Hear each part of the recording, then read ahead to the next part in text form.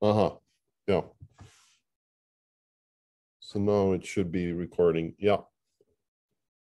Uh no, the the uh it seems like the Stream Deck controls is is out of sync. Uh, uh because it now says that I well, no recording is going on. Uh but anyhow, uh just gonna close the door.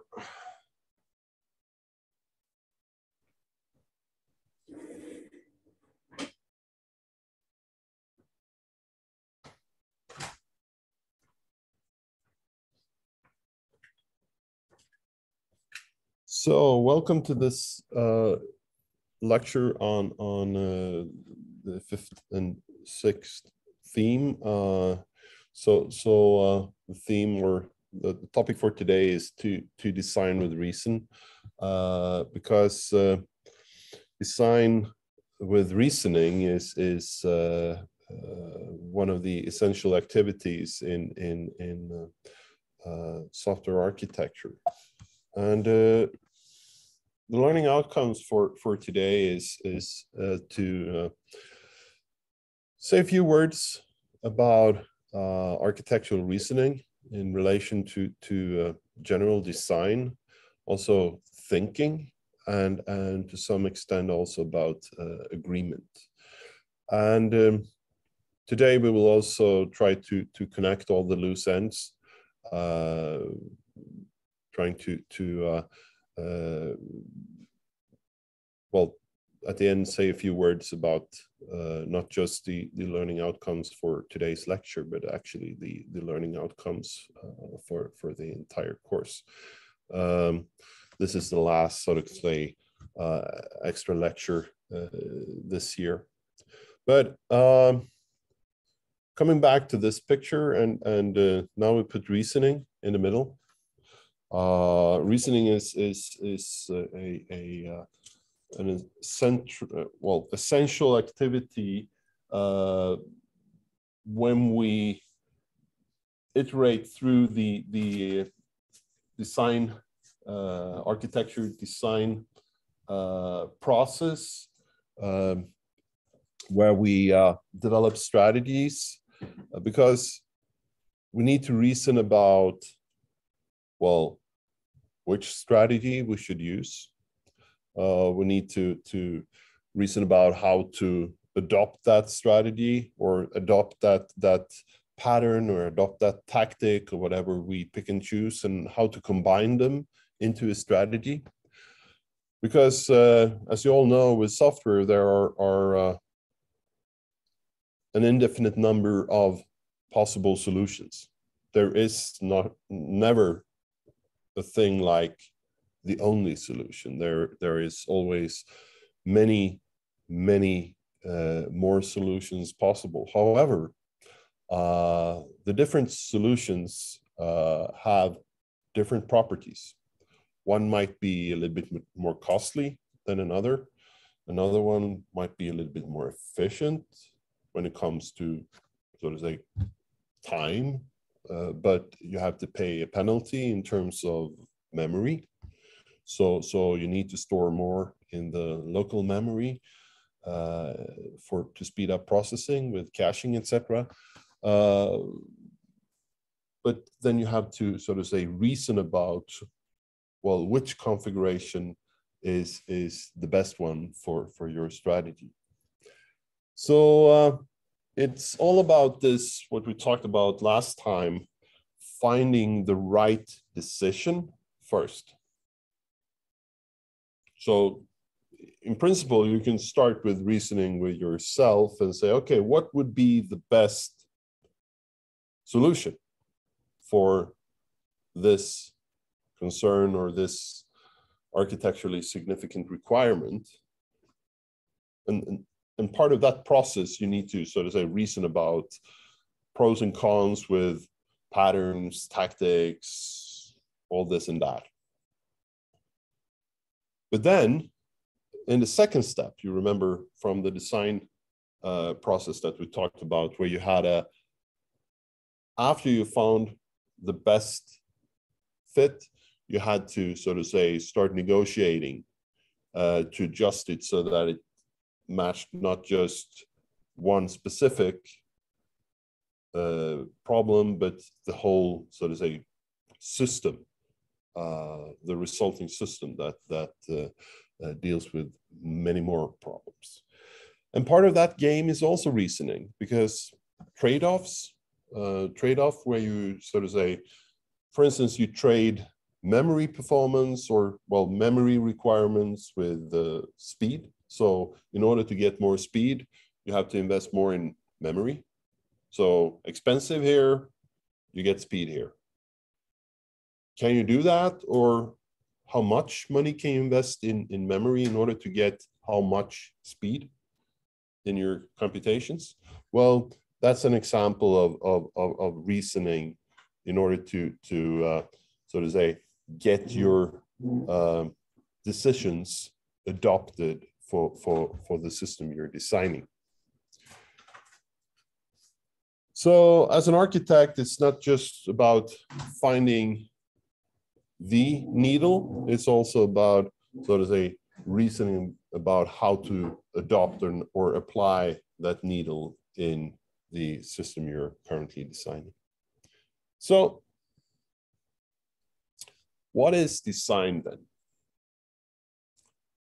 Well, if you go to uh, a dictionary they say decide upon the look and functioning of, well, some examples here, a building, garment, or other object by making a detailed drawing of it.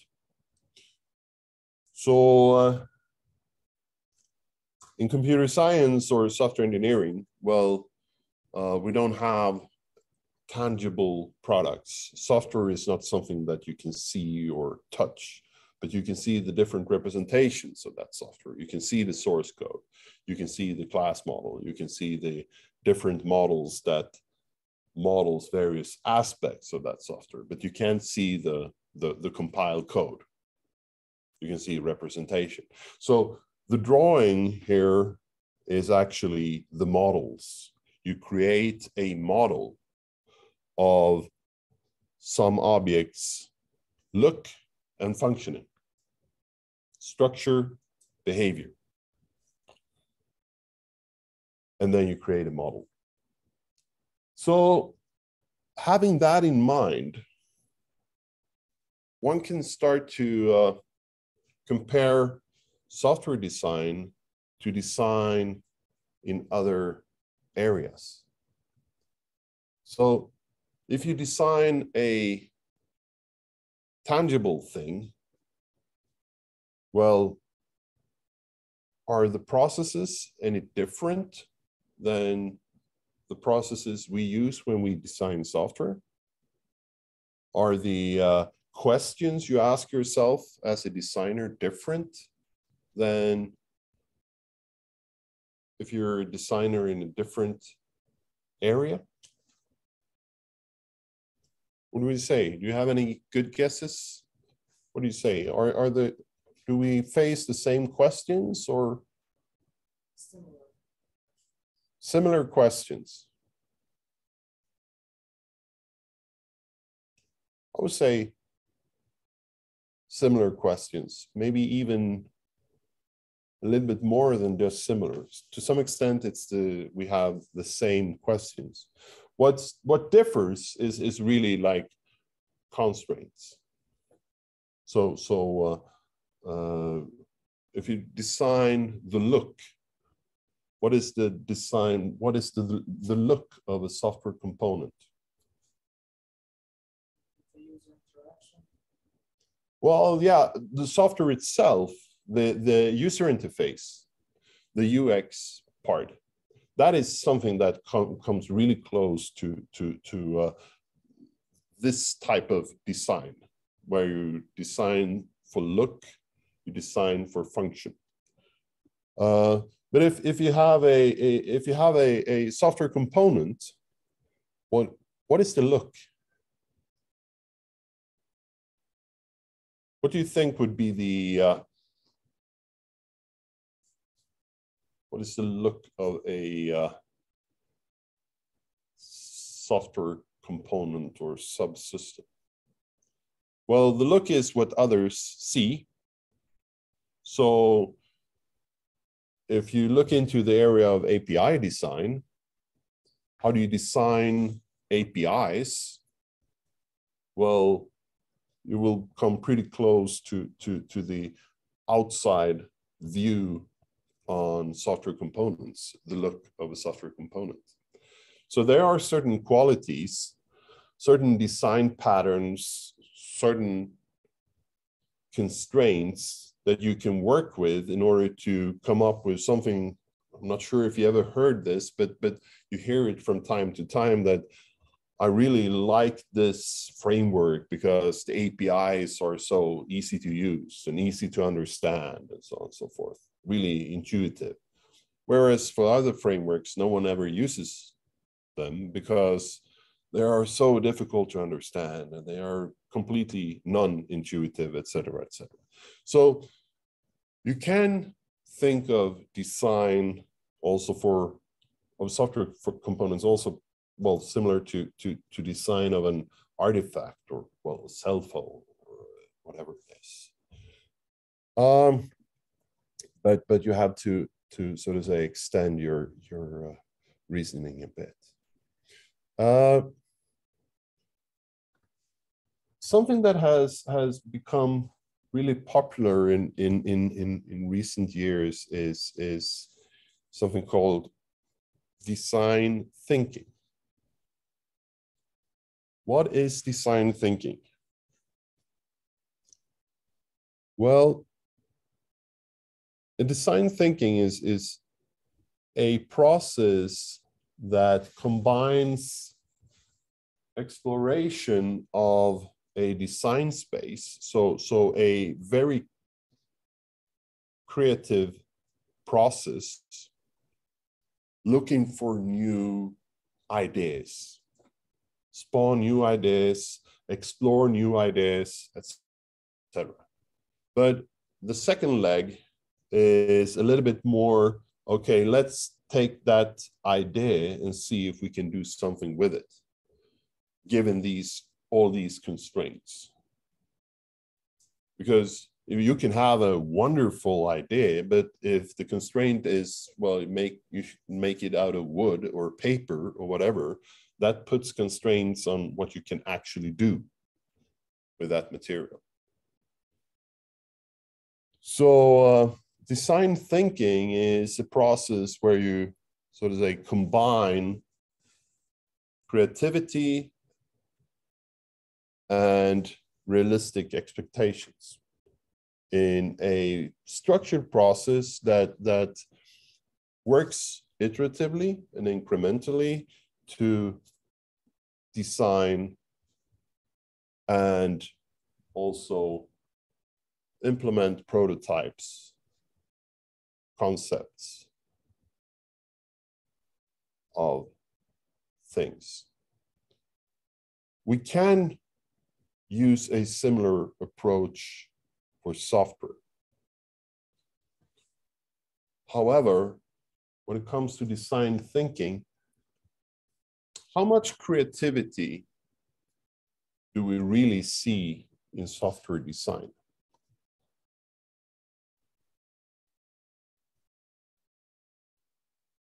Are software designers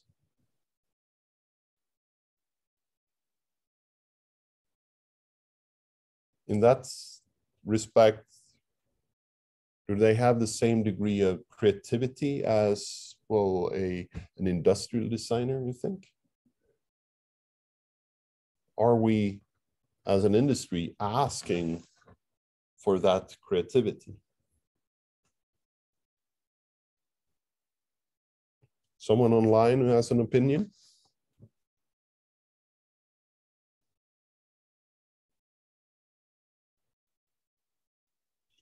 well i would say that not really because we're not designing tangible things. When it comes to user interfaces, sure. You see a lot of creativity there. Just look at, well, download a computer game. And well, there is a lot of interesting things going on there. A lot of creativity. But uh, how much creativity do we have when we design classes? Well, methods and operations. Hmm, well, we have the, the methods here. Uh, what can I do? Not much. APIs, sure, we have different approaches that will lead in different directions and the end product will be different. So, so to some extent, but it's not much creativity in that process. But the basic idea here of, of exploring a design space and then bring it back down closer to, to brown earth with realistic conditions. That's that's kind of more close to to what we see with software. You uh, pick an idea. You have that as your candidate for, in this case, a strategy. You combine patterns, you combine tactics. But then at the end of the day, after a number of iterations, you have started to sort of say, drag it back down to brown earth, closer to to to what you have in your on your architectural runway. You have to adopt to that. You need to to uh, make sure that you don't uh, uh, consume all resources, et cetera, et cetera. So in that respect, the process is similar, but in fact, software designers are never that creative as industrial designers or uh, UX designers for that. Uh, so when it comes to software design, this is, well, of course, not just uh, for architecture design, but software design in, in general. Since we have this, this encapsulation, modularity, principles that we, we work with in order to master complexity, well, there is always a, a an interface design or API design aspect. Uh, and then the internal one, which is uh, at the lowest level uh, about uh, constructing a, an algorithm for individual methods or whatever. Uh, you have options there you make decisions there. But, but you have this internal external design as one dimension. Uh, and uh, the uh, external internal also to some extent controls uh, the effect of your decision. So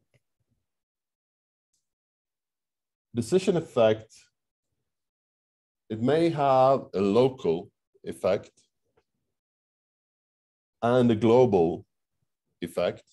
So if you have an API design and if you have make a mistake in well how you how you define your your your uh, method, for instance, well then that might have global consequences if you uh, make a bad design choice on the inside, it might just have a local effect. Then we have direct and indirect. Well, you can have local, global, direct, but you can also have local, global, indirect effects.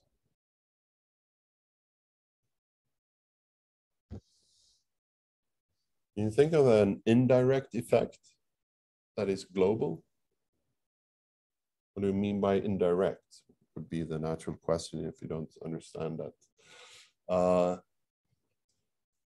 well, most languages today have how they they have an automatic memory management system. So so you allocate objects, and then when they are not used anymore, they are freed up automatically by this memory management mechanism. Some languages don't have automatic memory management. So if you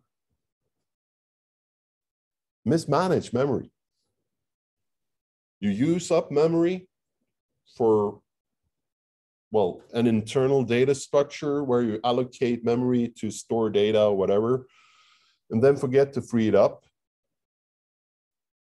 It might be that you have a memory leak. So every time someone invokes this operation, well, some memory is used. And since it's not managed properly, at some point you will run out of memory. That is an indirect effect. So it's something that can affect others, not directly, but indirectly, because it can be a decision that has, has an indirect effect globally somewhere else, uh, well, a completely different sort of a place in your system suddenly runs out of memory. An indirect effect of this memory leak. So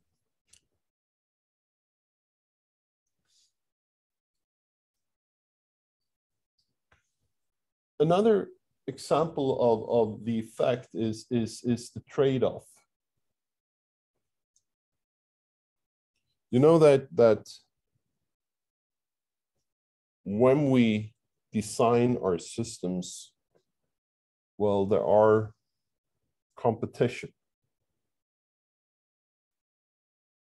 for computational resources, memory, bandwidth, etc., etc. And uh,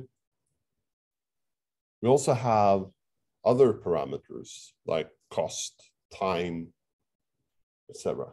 And we need to balance all these conditions so that we satisfy the, the goals, the stakeholders' concerns. And this is a really complex equation system to, to, to solve because there is a huge number of, of unknowns in here. And we can uh, vary the different values, so to say, indefinitely. But what it means is that, well, you have to sometime trade, for instance, quality for time. You can always invest time perfecting your implementation, making it a little bit better, but you don't have time or you can't afford it. So you need to trade one property for another. In the recorded lectures, there are a number of examples related to, to security, which is a property that is desirable, and performance, which is another property that is also desirable. We also have, for instance, usability. So if you want to make something really secure, you have to consider, okay, how much will this cost us in terms of performance? And how much will it cost us in terms of usability? So it's not good enough just to say, okay, this is really secure. This satisfies the security requirements. Therefore, we're satisfying the concern that these stakeholders have. Because these stakeholders may also have performance requirements. And it could be that, now I'm pointing to the guys in the room, that you have some sort of a requirement for performance and you have another requirement for performance. So you need to balance not just the properties, but also the stakeholders' concerns. So when it comes to software design, it's it's it's pretty. Uh, uh maybe I'm I'm using a the wrong word here, but it's it's kind of it's it's kind of simple if you just consider one user, if you just consider one property, and you have like an indefinite resource uh, number of resources, time, money, computational power, etc. Then it then it's it's basic, it's straightforward. Then of course you have complex problems that well require some thinking to solve, but but but actually coming up with a system when when you have understood how to do it, well, that's then it's pretty straightforward. But when you have huge projects, lots of stakeholders, lots of people involved, lots of requirements, then the complexity starts to kick in. And then it becomes more and more difficult. Because besides trade-offs, we have the fact that we have to make sure that we maintain integrity. And since I know that that you have taken a software testing class, I will ask you if you know what regression testing is. And now you should not shake your head, you should nod. I don't see the guys online, but uh, regression testing, you know, when you do uh,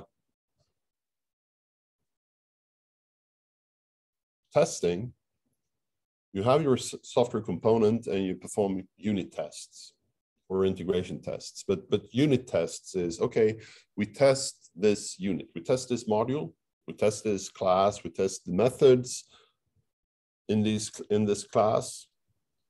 But it's important to remember that when you test, you test at a certain point in time. And if you change something, it might well be that what you have already tested is dependent on what you have changed.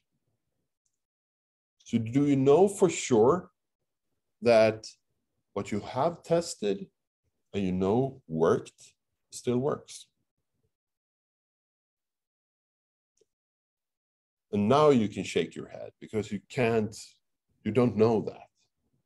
So what you have to do then is to test again with the new implementation of this method or with the addition of this component here, have we kept the integrity? Does it still work?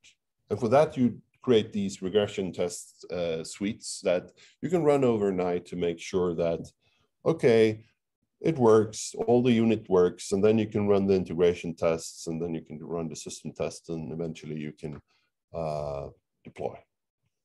So the same thing holds for your architecture decisions.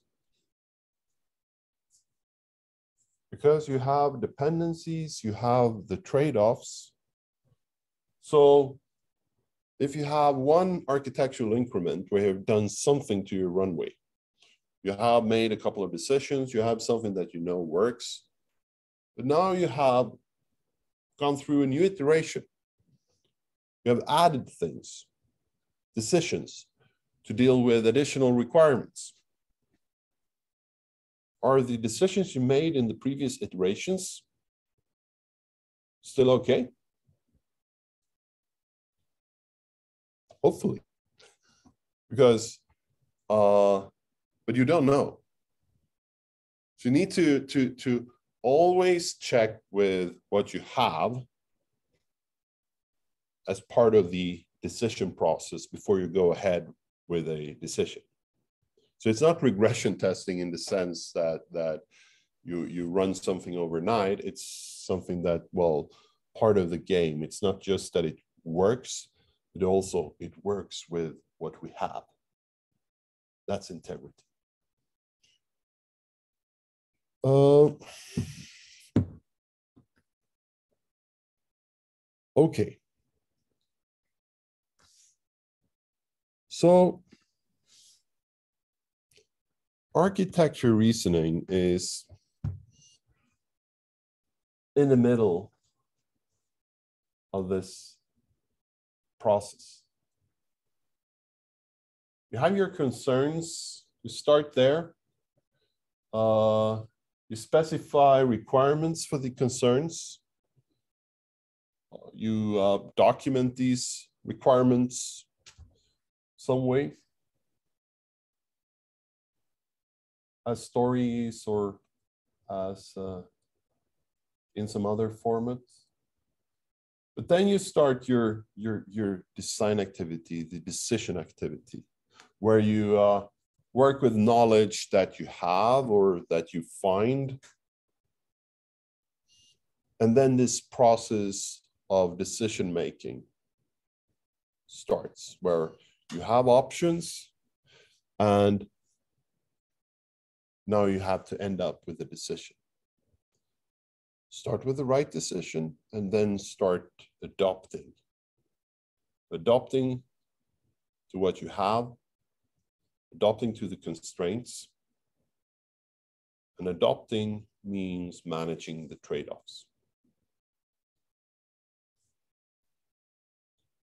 Eventually, you will add something to a strategy or you will complete the strategy, and that's documented in your views. But the architect here on the left is actually working with uh, probably the toughest activity of them all in architecture design. When we talk about architecture reasoning, that's where it's really difficult sometimes. And sometimes you can't even be sure that you're making the right decisions. So I know that you students, you love it when there is no right answer. and, and especially when no one can say if it's the right answer or not. But reasoning is challenging. It's not a machinery where you sort of say, enter a solution, you grind it, and out comes the answer yes. It's a lot about manual work. You can do testing, of course. You can you can code parts of your uh, or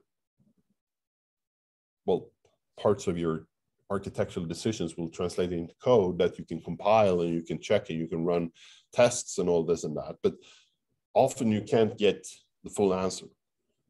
That is extremely time consuming to do and costly. And of course, you don't always have that time to, to do so to say, reasoning at that level. Instead, you have to retreat to more cheaper but less precise activities. And at the end of the day, we have something that can be summarized in this picture here. And that is uh, volatility, uncertainty, complexity, and ambiguity. And this is, this is something that is not just a condition for uh, uh, software systems, but it is really common in software systems. Volatility, well, volatility means that things can change. And they can change without notice. A simple example of volatility is, is network connection. You can have an extremely good connection in this room, and then suddenly you have no connection. So you have fluctuation in various conditions. Uncertainty.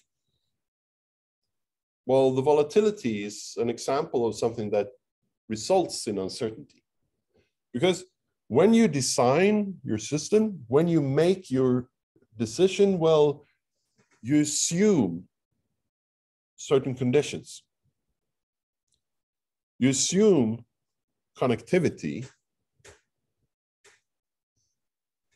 But if you can't guarantee connectivity, you have some uncertainty that you have to take into consideration when you design your system.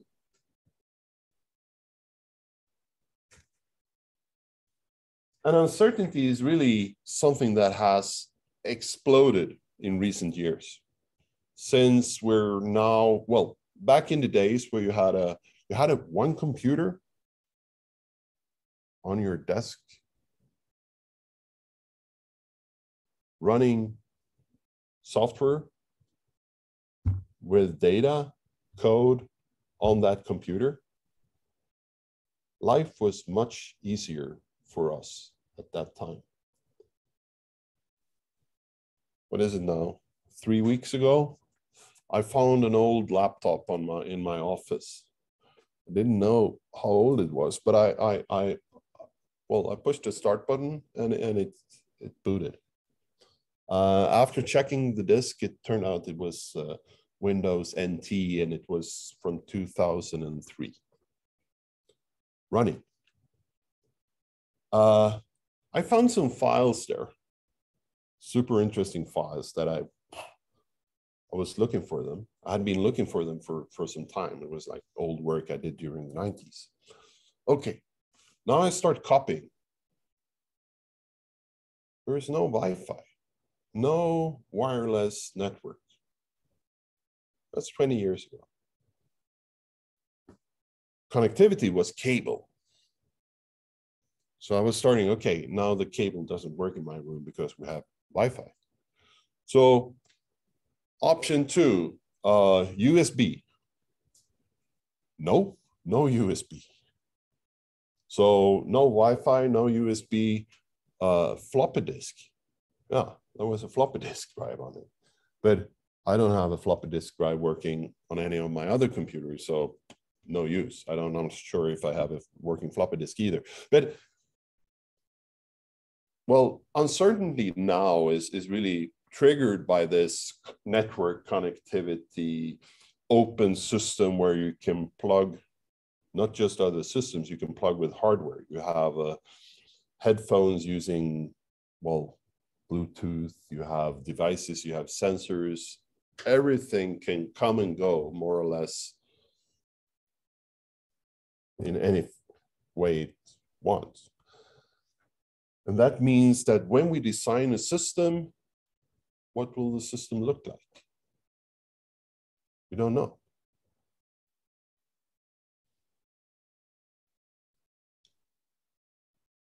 Many years ago, when, when uh, the manufacturers of printers uh, tested their device drivers, this was way before the, the well, Microsoft and other uh, operating system producers actually had a decent structure for device drivers. Well, what when the device drivers came from the printer manufacturers and didn't have really support in the in the operating systems how did they test device drivers well they had halls full of different computers different configurations different brands different printers from their make testing testing testing testing we don't do that now because there are just too many configurations. So instead, we have to think about, well, what's certain? What do we know? And what do we know that we don't know? We don't know that we always have network connectivity.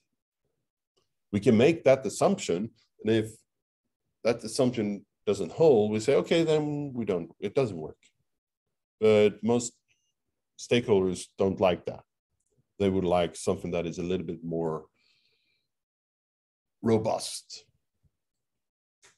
resilient to such uncertainties. Um, complexity itself is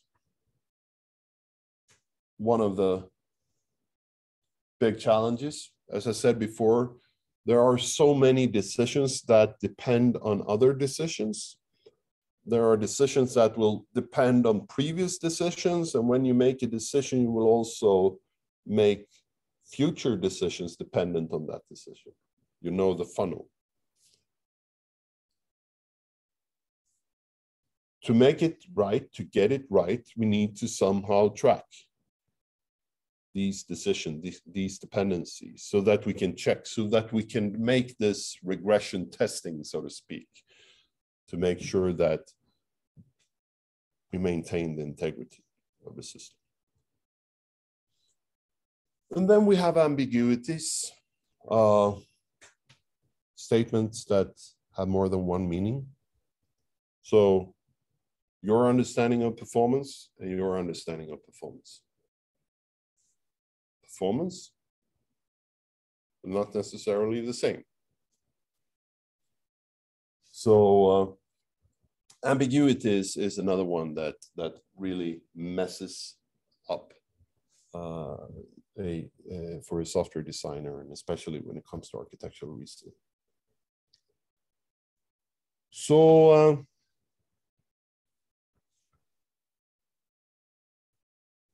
design thinking for, for architects then? Well, this is the uh, iterative, iterative uh, design process where you compare options, you manage trade-offs, you evaluate the candidate, you go back and forth, and you work with this until you have something that you believe is good enough.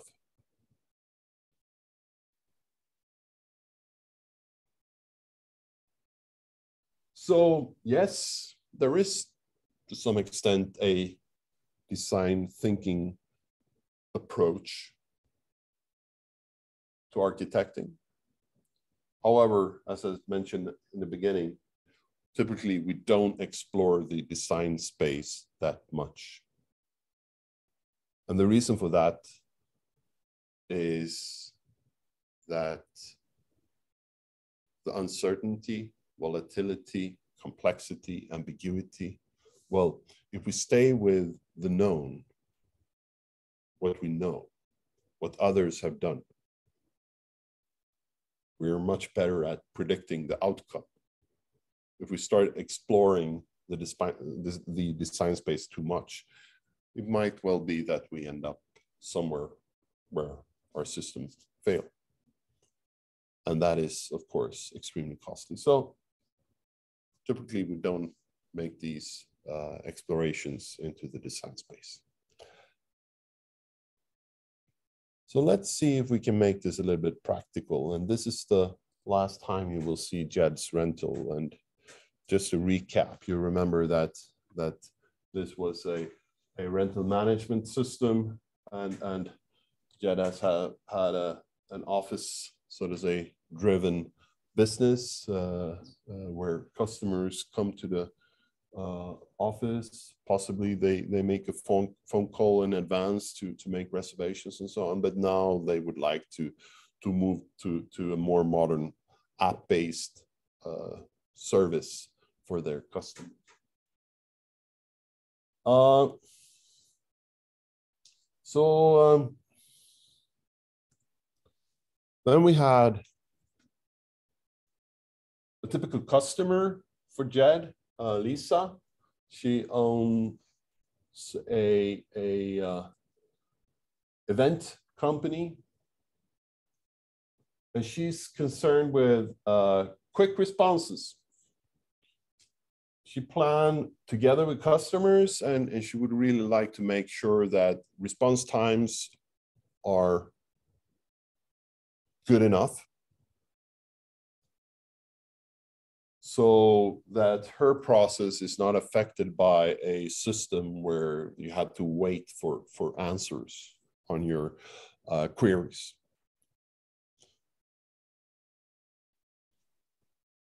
And then we have the design team here. Uh, we have designers, developers, and some architects here.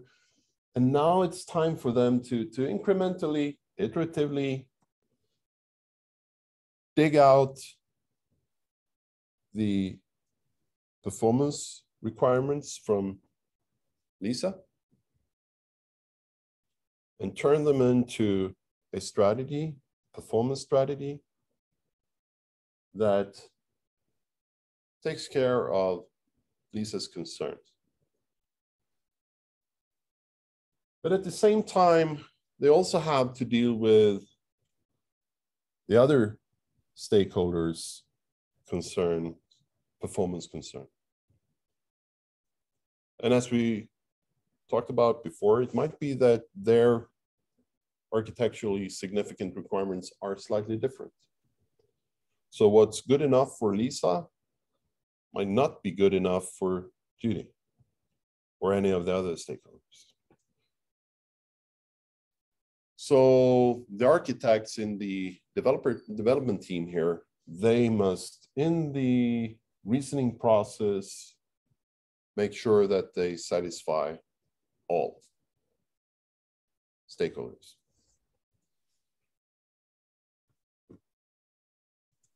So uh, start with the concern. Come up with a quality attribute scenario that describes Lisa's performance requirements. So how should the system respond to guarantee that Lisa's requirements are met? And then you can, in that scenario, you can weave in requirements from, from other stakeholders.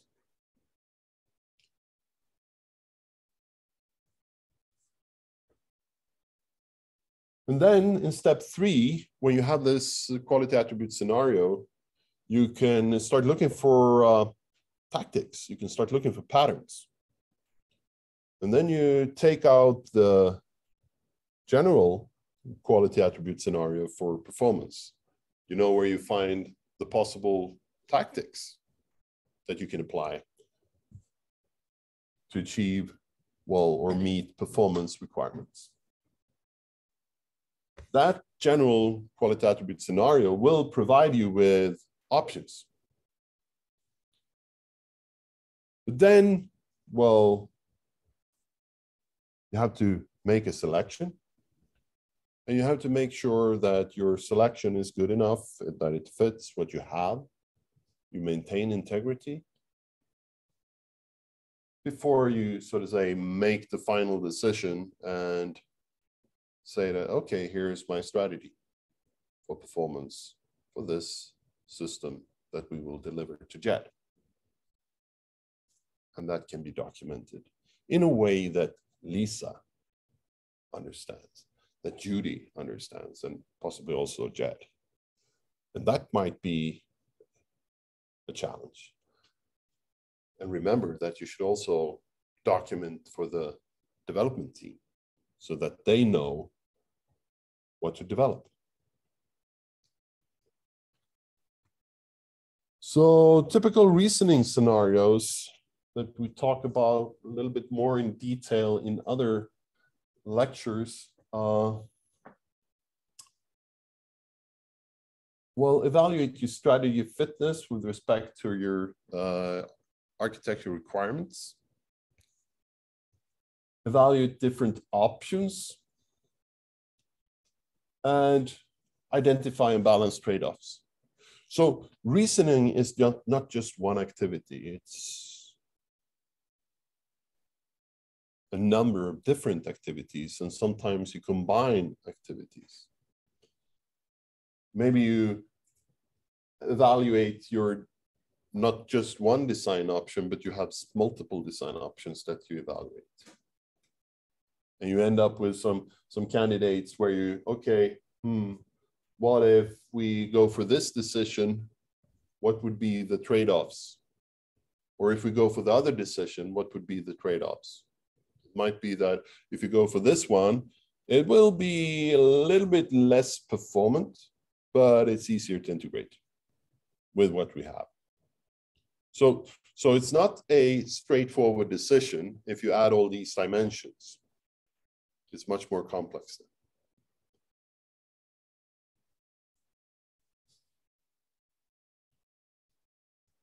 But with your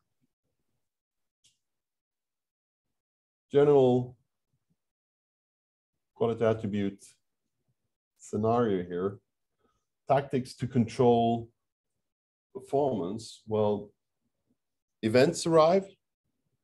Lisa's query, do we have 20 tables available for this weekend?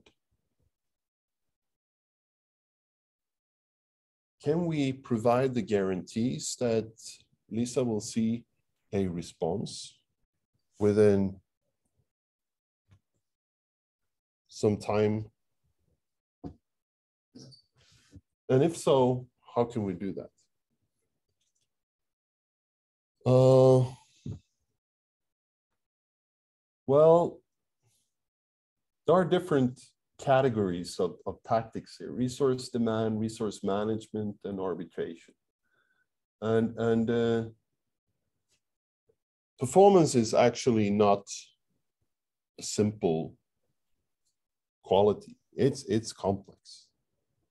How do you, how do, how can you guarantee that, that uh, some software running on my computer here will respond on time? I can guarantee that? It's not an easy question to answer, but there are methods. I'm not an expert in this field. This is that's why I'm just very shallow here. Uh, but when you work with performance, you have analytical models to complement your your sort of say conceptual models. You use your conceptual models to to develop analytical models where you can come pretty close to a to a the real answer. You can use simulations. You can have sort of say um, tools that that uh, simulates uh, waves of events here to to to check if your ideas are are are, are sound or not with three categories. And when it comes to, to, to, to resource demand, well, there are some here on the right-hand side, which are, are pretty nice. You can always make your code efficient. So you reduce overhead, uh, increase efficiency. You can, you can optimize various ways. You can uh, manage jobs and job sizes. So simple example, even though it's typically managed by the databases here, but, but if you have a complex query, it takes more time to process than if you have a basic simple query. So you have, if you have big, uh, well, big databases that you need to sort of say combine and, and, and search into and so on, that takes more, much more time, of course, than if you have just support just basic searches. So, so this is one of the examples of, of what you can do to, to, to manage this problem. Because if you have less resource demand, is it's more likely that you have enough resources to process the, the uh, arriving event on time. But then, well, you have to evaluate the cost and the benefit. Can we live with that? Is it okay for Lisa if we support really basic quest queries? She can't, we can't process super complex queries. It might be, yeah, but it might also be, no, we need this. So then you have to continue looking because the cost is greater than the benefit. Another category is, is resource management. Increase resources, add more memory, add more computational power. Hmm. Might be an option. Say that you uh, make a decision here. Hmm, yeah, let's go full AWS or some other cloud service. You have scaling. You get it. It costs you, but it might be worthwhile. Because if you do scaling, well, might be that you get multiple copies of the data. You can have multiple copies of the computation, so you can actually process not just Lisa's queries one by one, but you can have multiple queries running in parallel. So you can have concurrency. So uh, resource management is definitely a viable option, especially today when you have decent support or even more than decent support uh, from these uh, big uh, cloud providers.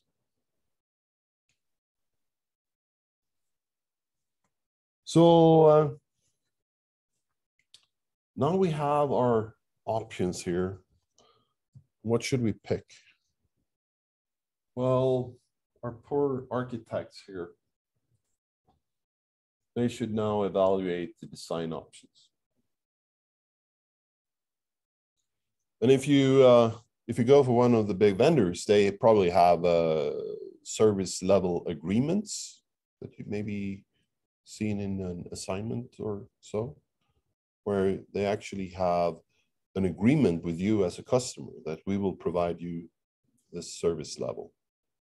So if you pay a little bit more, you will get more service from us. If you pay less, well then we will have to go with the, the bronze package. So evaluation here might be, okay, hmm, should we go for uh, Microsoft or should we go for Google or should we go for AWS? And suddenly that decision, probably they are pretty equal when it comes to the functionality. But suddenly it might become a, an issue of money, support, availability, or for us here in Europe, where is the data stored? You know, GDPR. So a performance consideration might be stopped by the fact that, hmm, no, we cannot ship the data to the US. So you see that that even if there is a straightforward solution, it might mean that mean that, or it could be that we have to step back and say, hey, okay, we have to do something on our own. if we do something on our own, well, we're back on square one. I have to come up with a homebrew strategy. And for that strategy, well, we can use verification. We can do proofs, use analytical mathematical models, queuing, tech, uh, queuing models, etc. We can also do argument by our argumentation. We can reason uh, about, well, trying to convince people that what we're done is actually good enough. And then, of course, we can also run demonstrations, simulations, and so on. So evaluation is not always straightforward. And if we go for a big vendor approach where we have AWS, for instance, well, they have their reference architecture. That reference architecture will provide us with the structure. It tells us which components are needed. It also gives us patterns for how to use it. This is this is the same for for all of them, the big guys. Um, but if we don't have that, if we don't have that possibility, well, it might be that we have to come back to this peer-to-peer or client server, client server where we share data and we can do things to the server to, to uh, speed up increased resources, for instance.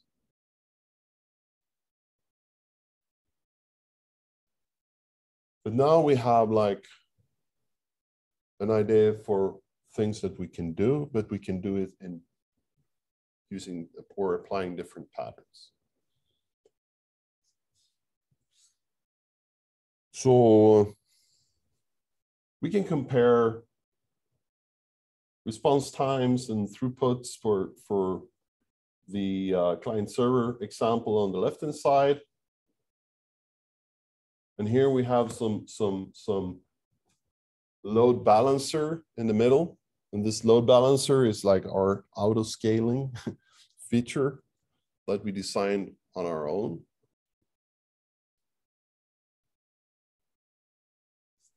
On the right hand side, we have a peer-to-peer, -peer, which I'm not sure is really feasible in this particular application, but it's, it's uh, because it requires that we actually ship some parts of the servers to the clients as well.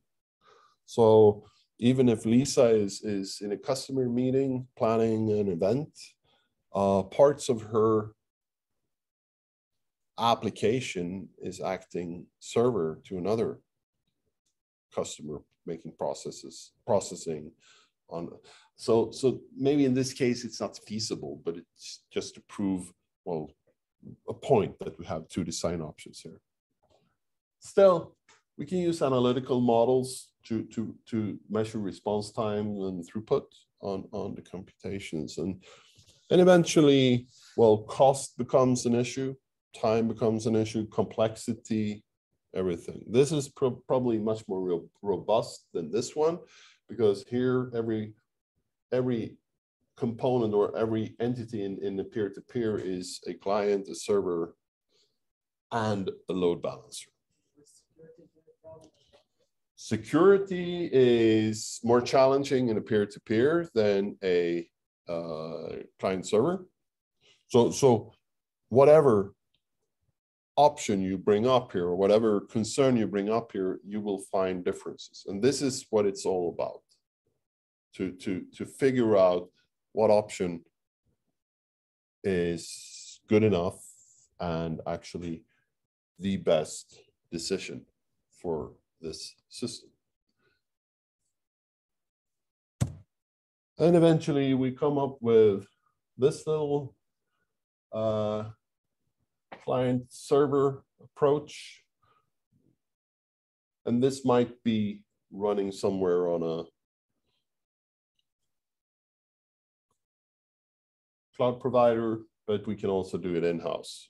If we do it in-house, well, we have to do all the operations on our own, hosting, etc. Costly, more costly development, more costly maintenance. Uh, we have, we will face uh, obsolete hardware that we have to replace. There will be backup issues, et cetera, et cetera. So many considerations in, in these decisions. And at the end of the day, it might be GDPR, so we must do this. But now we come to the next interesting step here, because now we have a performance strategy. We believe that this strategy is, is, is, is working. And now we have to first convince our stakeholders that this is something they believe in. So, Lisa, well, I'm not sure, I'm not certain, but I can always almost say I am that if we come up with a analytical mathematical model that of the performance for this computation computing system and show it to her she will not understand that model. So in order to to to so they convince her that well this is actually met, if she requires requires us to do that before we have the final system, well then we need to look more into scenarios, walkthroughs, etc.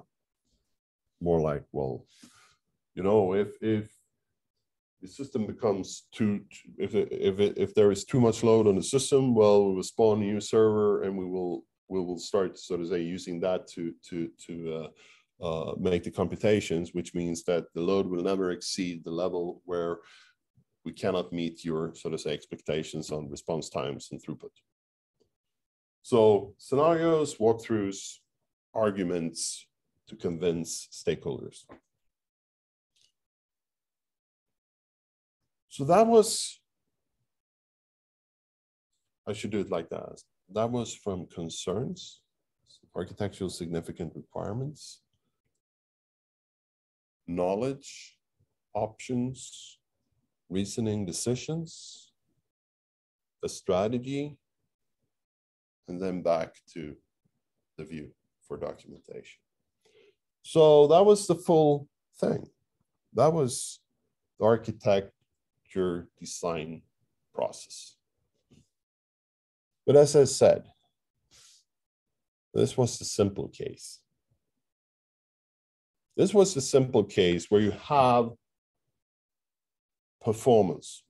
We don't even look at the software, the, the significant requirements here. We just say performance, but it can be many things. So iterative and incremental. Integrity and quality, we need to so to say make sure that the security mechanism works here. This uh, security strategy works here. The information security strategy works here. The system is still usable. All the concerns, integrity.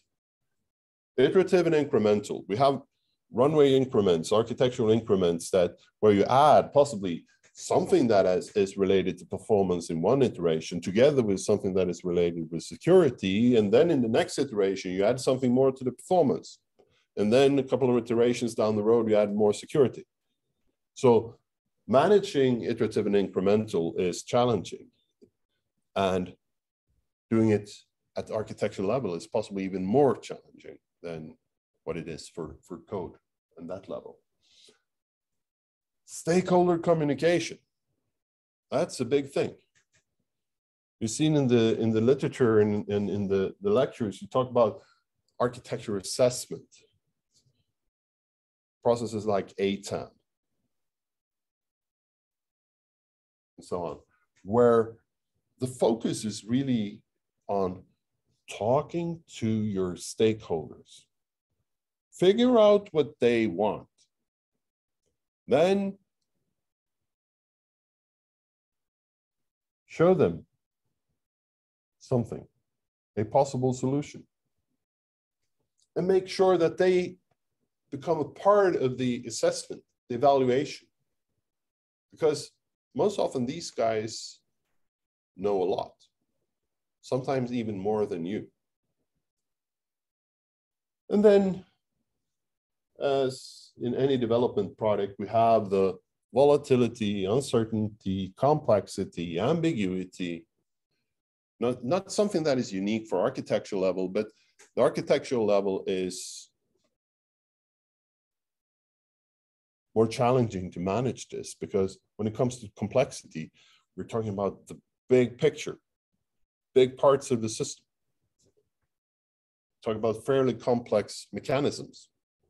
And most often we don't have a running system.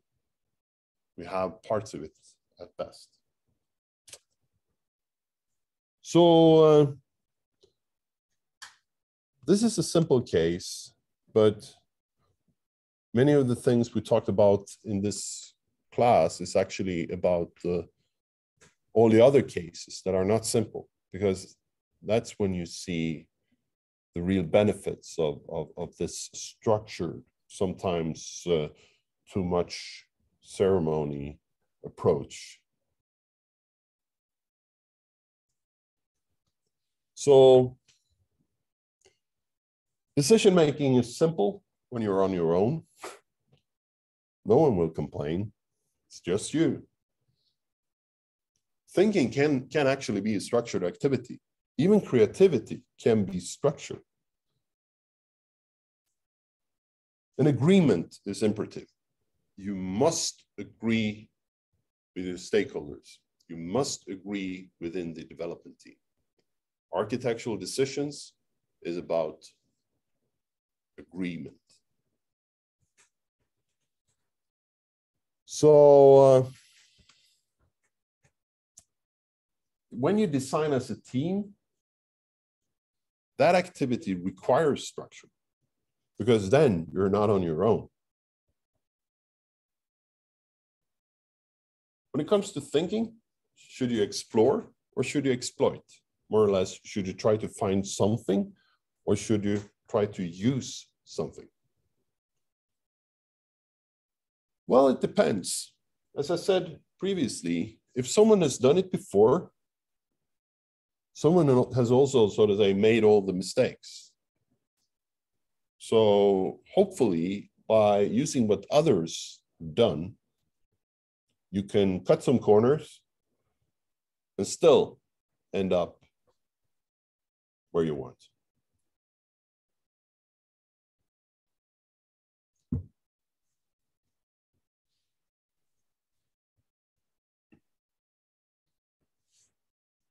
So um, this was today's lecture about architectural reasoning. And this is also, well, so to say, completing the, the software architecture 101, which is about understanding stakeholders and their concerns, make the right design decisions and document these decisions in a way that stakeholders understand the design and can say, yes, this meet, meets our expectations. So uh,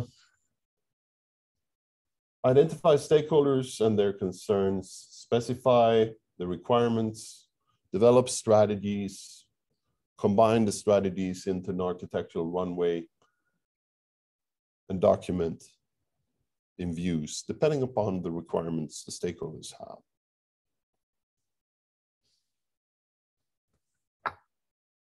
And a simple case is always there. Do you really need to do this? Do I need to create a model? Do I need to make the architecture explicit? We all know that all software systems have an implicit architecture. There is an architecture. Do you need to make it explicit? Well, it depends. If you're on your own, if the system is not long lived, you make something, you solve a problem, you use it, you throw it away. Don't spend time on this. Why? Quality is not imperative, it's about solving a problem. So security performance, not important. Well, you don't have to do this. If it's just about functionality, well, do it. But if it's not, if you're part of a big team, if you face somewhat more challenging uh, development task, well, it might be worthwhile to to to sort of say try to put some structure into your work, especially if you're a team and you need to align how you work and your target. And then stakeholders and their concerns is a nice entry point various ways to specify, to elicit the requirements from the stakeholders for the concerns. Make use of the knowledge, tactics, patterns. So cutting corners, finding a shorter path to, to the goal. Use structured way to, to reason about options, to come up with a decision candidate and, and make sure that this decision is actually a good enough decision. that it results in a strategy that that can actually be developed in your system by the team to make sure that the requirements for the concerns are met. And then at the end of the day, find the tools to communicate within a team and externally, with management, with customers, with other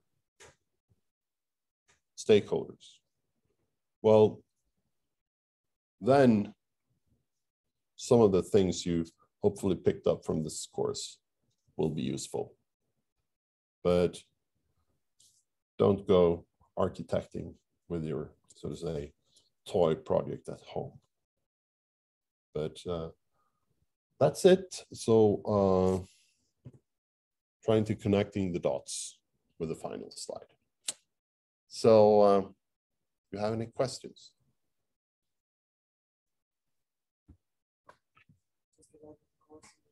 Yeah. So this is the last lecture, right? This is this is the last live lecture. Yes. Also, we have another lecture, uh, like online. YouTube video. Yeah, you have you have you have the pre-recorded videos. I I made some other videos now in the uh, recent weeks that I will upload also to to complement. Because it said that we have a lecture. I know, I know. We we have scheduled more lectures, but but this is like my ske my other schedule. Well, I do other things than teach. I do a lot of other things. So so we we schedule, so to say, uh, just in case. Yeah. So so it might be that we have a, a Q and A session or something uh, to prepare for the for the exam or something that that we put on that slot. But it's just to like a placeholder. So this is it. For the exam of the essay. Yeah.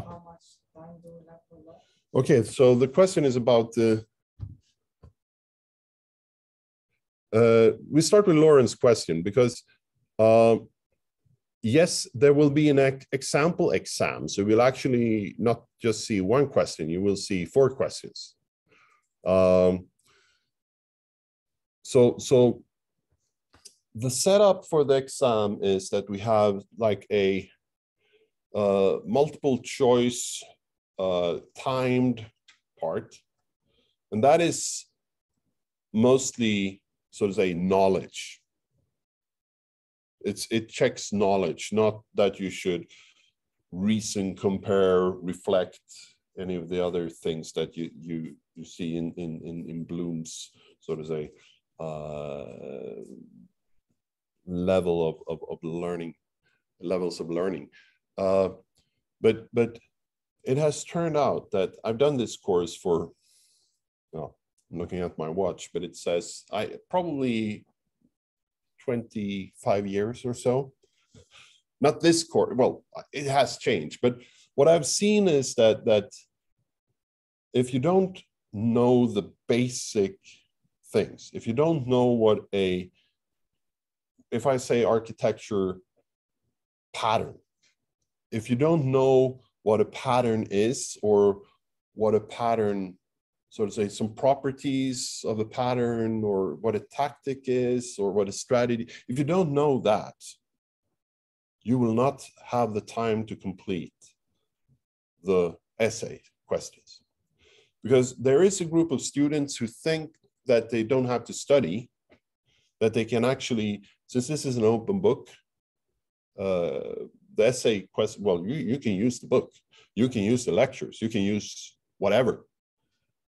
But if you don't know the basics, it doesn't matter because then you will spend too much time looking for information. So this little 10 minutes or 12 minutes or whatever it is, uh, filter actually boosted the pass rate a lot with almost 30% units. So it's it's it's fairly high.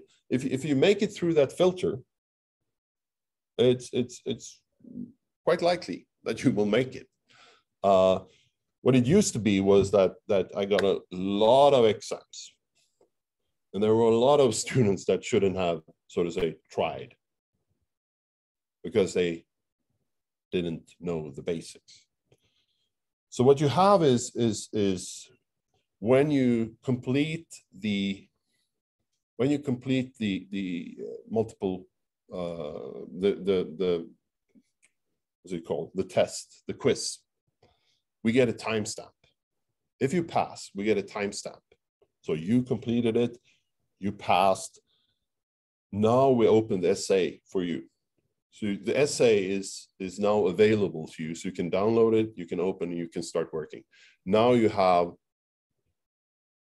I'm not sure what Francis said. I'm not, I'm not managing this. So, so some hours minus 15 minutes to complete the, so if it's uh, five, five hours, 45 minutes or something, or if it's four hours, 45 minutes, I'm, I'm not sure, but it, but we say you use 15 minutes for the, for the quiz, and then you have the rest of the full time. So we can actually see, given with the timestamp there, that you don't spend nine hours or eight hours. So, so if you do that, we get a little bit angry. So when we grade. Uh, so uh, that that is that is the so to say the time aspect. Uh, the exam will cover uh, what's in the reading instructions. What the lectures are are highlights of content. There are study questions uh, for each and every chapter. Uh, so so that that is if you if you look at the the learning outcomes for the course, those questions, if you know the answers to those questions, if you know the practices from the assignments, well, you're home safe. In the written test, it's mainly the non-practical parts. It might be that there is some element of, of, of design, but not something complicated. So yes, the exam covers a lot of, a large part of the course, but but not the practical aspects. For that, we have the assignments.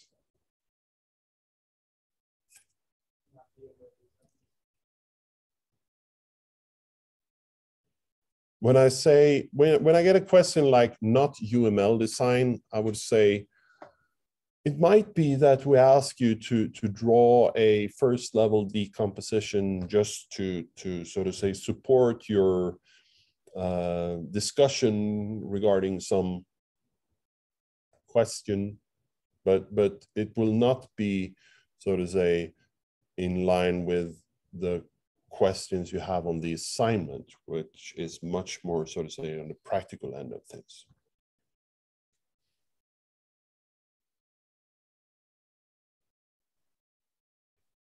Okay. Very good. So uh,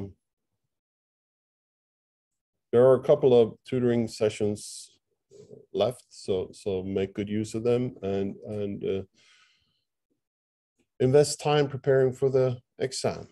It pays off. Guaranteed. So take care. Um, you guys online, take care you too. Uh, see you around. Goodbye. Mm -hmm.